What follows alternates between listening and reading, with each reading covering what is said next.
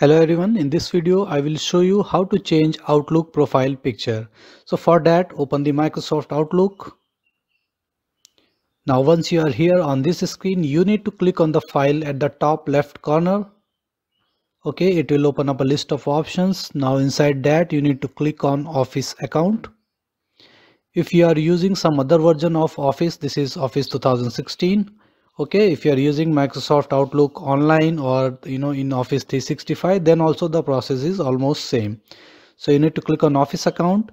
Now if you're not signed in to the uh, you know outlook then it will give you a sign in option here. You need to click on that one and you need to enter the email id and the password for the outlook or anything related to microsoft okay? Any microsoft id will work there.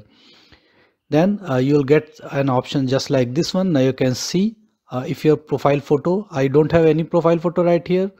Uh, so uh, at the below bottom option you can see change photo option is coming. So uh, you know uh, you'll get the same option here. You need to click on change photo. Then you can browse the photo here.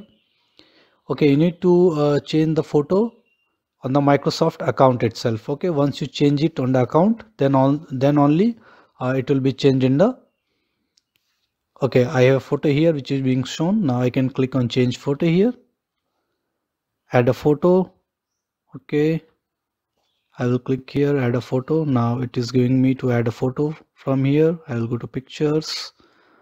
Okay let me see from where i can add. Okay, probably from here.